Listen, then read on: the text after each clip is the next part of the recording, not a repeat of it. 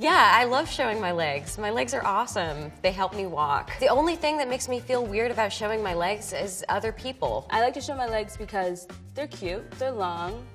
I like to shave them. I worked hard for these legs, but not to work. Gotta be a little conservative. Can't show everyone your business. I'm very comfortable with my legs out. I feel like I have them, they're mine, I've got to rock them. I feel like my legs are definitely like one of my better features. I feel like it's like from here down and then like from here up. I don't really like to show my legs anymore, only because I was growing up like super active kid. I get bunches of bumps and bruises all over the place, and I do have some scars, so it's actually more challenging to kind of try and cover them up as a woman of color. I appreciate the strength of my legs, but you know, I usually try to just cover them up regardless. A lot of people have a complicated relationship with their legs, and I am also a person that feels that way. Sometimes I don't really mind because, you know, it's hot out or maybe I think they look good, but other times, you know, I get worried about like people seeing cellulite or, you know, my legs being hairy because let me tell you right now, I definitely missed all the spots when I was shaving my legs today, so don't zoom in because you will see all the hair. They're the only part of me that has stayed consistently fit throughout my entire life. They got their muscles and their curves, and they've earned their rights to be out just like the rest of my skin.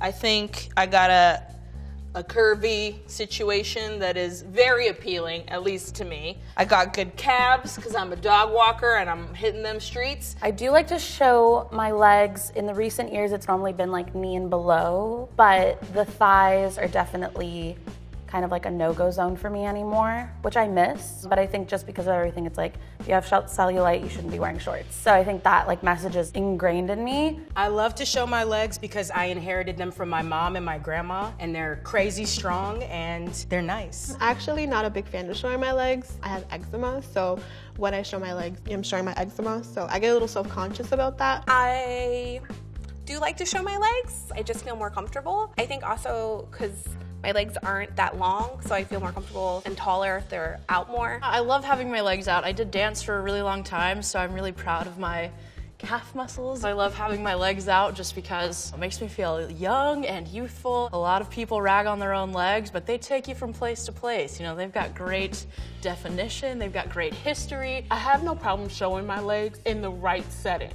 In the summertime, I wear a lot of dresses and they come above my knees. So I don't have a problem showing my legs, just not this much leg.